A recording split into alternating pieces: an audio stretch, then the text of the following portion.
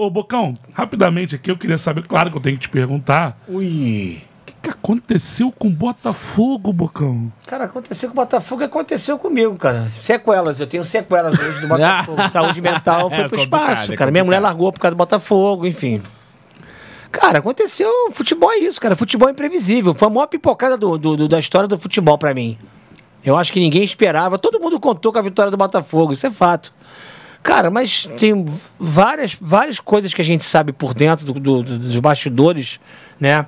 Eu até faço programa, pra quem não sabe, tô- eu tô diariamente de meio-dia uma no Resenha Alvinegra. Hoje o Cadu deve estar até ao vivo agora fazendo o programa lá no Resenha Alvinegra.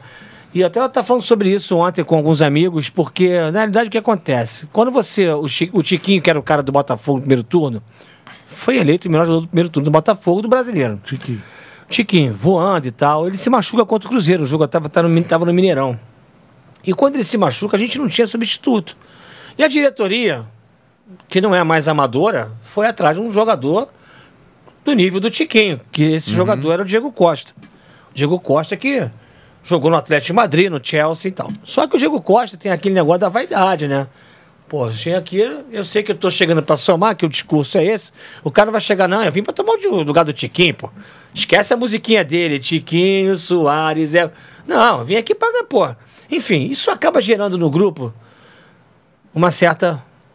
Uma briguinha, né? Porque o Tiquinho quis acelerar o processo de, de recuperação. E o Bruno Lage que trouxe o Diego Costa, né?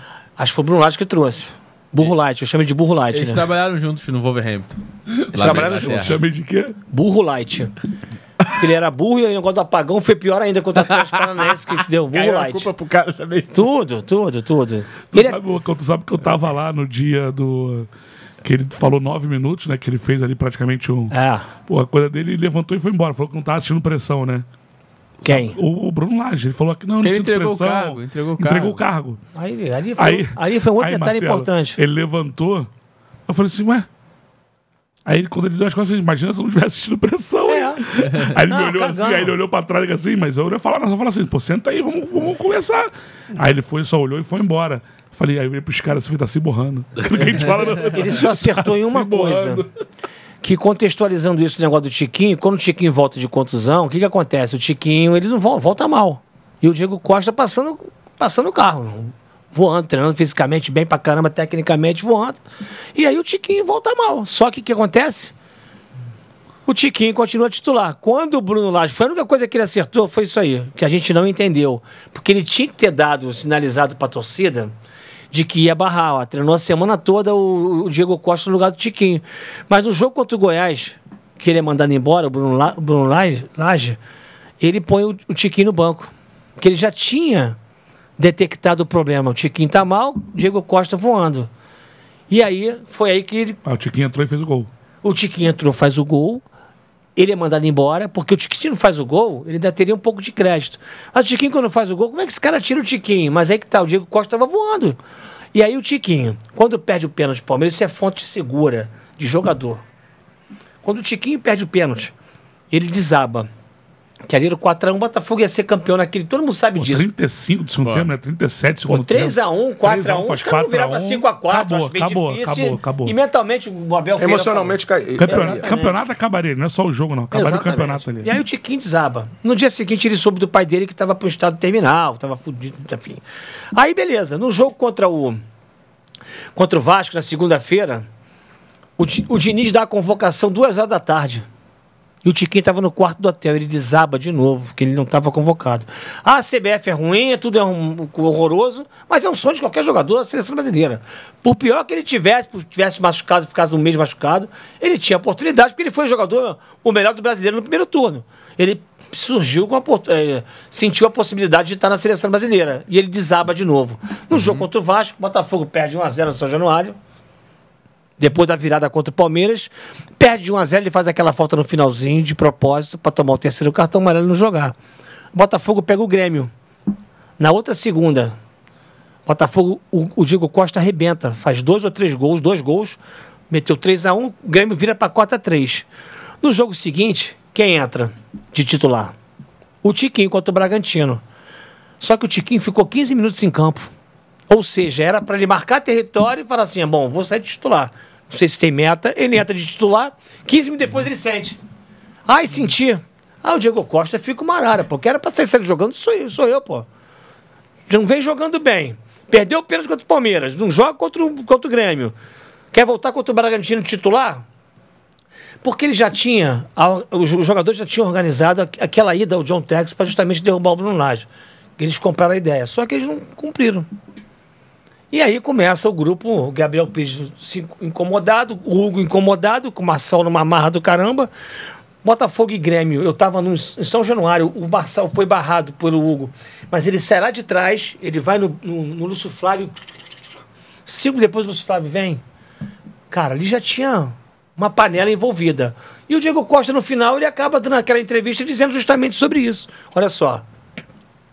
Ele quis dizer, em outras palavras, que era uma panela, o Tiquinho não ia sair nunca, a vaidade tomou conta do negócio, eu não ia jogar. E como é, que ele tinha clima pra ficar no Botafogo? Eu voando, treinando pra caramba. Não, aqui eu não fico, não. E uma meteu semana depois, quem dá entrevista é o Tiquinho, né? pra falar que não, que as coisas não aconteceram. Ah, mas tá, deixou bem claro. E aí o emocional foi embora. Aí o Botafogo contrata um negão desse tamanho tal de baixo. O cara não consegue subir um metro, um negócio desse. Nossa, Irmão, é. pelo amor de Deus, sobe, filho! Sobe, meu Esse aí é querido! ruinzinho pra caceta. Pô, né, sobe, filho. Aí o cara do Santos, pumba. O cara do Curitiba, pumba. Aí o Botafogo deixa de ligar. Aí começa aquelas percepções individuais, aquelas avaliações individuais. Enfim, foi tudo por água abaixo. Mas enfim, a diretoria não tem culpa de nada. Porque quando você tem 15 pontos de vantagem, você tá no Sport TV, 26 anos, arrebentando. Vou contratar alguém pro teu lugar pra quê? Ou pra, pra, pra, pra- pra fazer competição contigo? Então, cara, o teu melhor meu. 15 pontos de vantagem, eu vou contratar alguém? Aí a torcida fica, porque tinha que contratar, tinha que contratar ninguém, cara. Tu ia contratar alguém com 15 pontos de vantagem? Presta a ser campeão. A gente estava escolhendo qual a data que a gente comemorar o título. Tava mesmo. Em qual, qual, em qual cidade a gente ia viajar? Aí pro, pro, pro... Pô, aí tu vai contratar alguém pra tu, é, é pra tu competir com o cara. Eduardo tava voando. Aí o Eduardo não acha, pô, os caras são malucos, estão contratando um cara pra mim. Eduardo caiu pra caralho de produção. Caiu demais. Caiu, caiu bastante. Mas sabe por quê? Ele é fundamental. Eu já dei essa explicação aqui. O Luiz Castro, quando começou a entender que a estreia do Luiz Castro em 2022 foi contra o Corinthians no Newton Santos. Ele quis implementar um jogo de linhas altas. É, aí sobrecarregou o cara. 3 a 0 Corinthians. Era para ter sido mais. 4, 5. Quando ele começou a baixar as linhas, Claro, depois do Campeonato compactou. Carioca, o Lucas Perry e o Adrielson jogavam do lado do, do, Sim. do Perry. Então, quando a bola vinha alçada na área, todo mundo compactado ali. Não tinha jogo de entre linhas porque tinha. Tava o cara ficava esmagado ali. Bola na aérea. O Adrielson, pimba. Atacava a bola o tempo todo. Pra pumba. caramba, é. Todos dois muito próximos. O Cuesta e o, Adrielson muito E um próximos. time do muito rápido, né? Também Aí quando pegava a bola a transição, né, irmão, era pum, pum, pum, pum, gol. É. Pum, pum, pum, videogame, Gustavo Vilani. Videogame! É, era mesmo. Aí quando vem o Burro Light, mudou de novo, subiu. O que, que aconteceu? Espaço. Os caras ficaram espaçados, os Adriel e o Costa ficaram longe do PR, tinha que tomar a bola nas costas Toda o tempo hora, todo correndo exposto. trás. E, e, Correndo pra trás, E vou te falar, trás. Tirou a velocidade da transição Engraçado, do Santos, né? O- o- Aí o Eduardo cai de produção, porque era o forte dele era pegar a bola e pifar. Vamos acelerar? é, Vem, as vem comigo, quem vem? né? Quem vem? Aí os, caras- o Vitor Santos e o Júnior Santos assim, Tiquinho abrindo espaço. É, pum, pum, gol. Flamengo de, 80, de, 80, de- de 2019 era muito parecido assim, muito parecido devido a proporções. O Jorge Jesus tinha uma estratégia de primeira linha Na de marcar né? a primeira linha meia boca para quando quebrar essa a primeira linha, a segunda linha tá muito próxima com Everton Ribeiro, Gerson, Arão, e aí os caras pifavam. Ah. Bruno Henrique aqui, Bruno Henrique cruzava o Gabigol, pumba, já tava todo mundo próximo do E a, gol. e a última linha também, né? E engraçado, é. Não tinha bola nas costas. É engraçado que o Bruno Lage, no Wolverhampton, eu acompanhei alguns jogos, ele jogava muito semelhante ao Botafogo. Até quando ele chegou, eu falei, pô, acho que o Botafogo mandou bem. Os caras Porque é um cara que joga assim. disso. É- Pra é- manter aquilo do- era um do- cara do- que jogava, era um cara que é jogava no contra-ataque, é, com, com muita transição rápida, com muita velocidade. É um cara que gosta de ter a bola, mas que jogava assim no Wolverhampton. Eu não Aí, suporto aí, che- ele. aí ele chegou no Botafogo, ele já mudou tudo, já eu não subiu, suporto falei, ele, cara. Eu não, faz- faz- suporto esse cara, cara. Não, consigo nem olhar pra cara sentido, dele. Não, não fez muito sentido. Eu, eu, eu confesso que eu não entendi. O que eu conhecia 2 dele lá milhões por mês. Nossa senhora, hein? Tá fácil, né, cara? 2 milhões por mês. Deixou 50 mil pros funcionários lá de, de, de, de, Nossa de presente. senhora. Mas enfim, E eu tenho uma exclusiva, porque quando ele entrega o cargo, eu vou- eu no Marçal, ninguém sabia. Aí eu vou no Marçal e eu falo, pô, como é que tá o clima essa semana? Eu O Botafogo acabou de perder pro Defesa e Justiça. Hoje perde invencibilidade no Newton Santos pro Flamengo. Não, o clima tá bom, são jogadores experientes e tal. Eu falei, não, porque teu treinador acabou de entregar o cargo ali, né? Aí ele. Não, mas, mas eh, se ele fez isso, ele deve ter os motivos, mas o Bruno é um cara experiente. Pô, ele foi, ele foi dar duas uma, Bocão. Ou ele já sabia, lá dentro do vestiário, alguma coisa. Eu sei da história toda com Defesa e Justiça. Ou, ou, ou ele foi experi pra caramba, porque em nenhum momento, quando eu joguei pra ele ali, em nenhum momento ele, tipo, cambaleou, É porque porra. quando o Botafogo é eliminado pelo Defesa e Justiça, o Bruno Lage toma um esporro da diretoria por ter mesclado, né? E eu vou até contar um pouquinho de repente sobre isso, porque depois o jogo foi o jogo contra o Flamengo, que ali foi a derrocada geral do Botafogo. Ele dá um esporro no de plástico do vestiário, isso contado pro jogador que estava no vestiário, tá? Não vou dar nome, claro. Sim. Bom, quando ele deu um esporro no de plástico, foi todo mundo puto. Ficou, ficaram putos com o Bruno Lage. Com o Bruno Lage. Deram esporro no de plástico. De plástico foi um dos culpados pela, pela, pela derrota do Botafogo contra Defesa e Justiça, enfim. Ele, né, o Bruno Lage achando.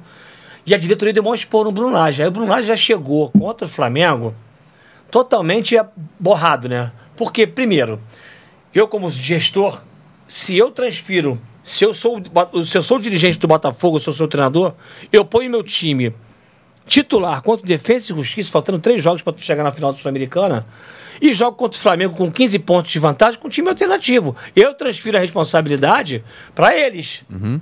Mas não, eu criei um monstro. Quando eu jogo com o time reserva e vou com o time titular no tapetinho contra o Flamengo, o São Paulo e malandro pra caramba aí. Ó, os caras estão desviando de vocês. Vieram com tudo pra cima de vocês aí. Voltaram o time titular achando que vocês vão ganhar. E aí tu mexe com todo mundo. Ah, teve gol do Marlon Freitas, gol contra. A falta no Tietchan, que o Bruno Henrique depois faz o gol, outra história, mas o Flamengo ganhou. E ali Botafogo perde a invencibilidade do, do- do tapetinho. É. E aí o cagão, o bobão, o Burro Light, entrega, se borrou ali. E aí a diretoria, quando ele sai, vai todo mundo atrás dele. E aí o jogador fala pra mim, Bocão, nego ficou com ódio desse cara. Nesse mesmo dia, nego ficou com raiva desse maluco. Como é que é? Aí vem dizer depois que, que ela estava defendendo os jogadores, é tudo mentira, os jogadores odiaram essa atitude dele. Todo mundo, ninguém gostou. Aí ele perde o grupo, perde todo mundo. E ali, cara. E aí são várias nuances do futsal, do futebol, né, cara? Acabou a brincadeira, cara. Não dorme não, deixa, deixa eu acordar aqui. Tá?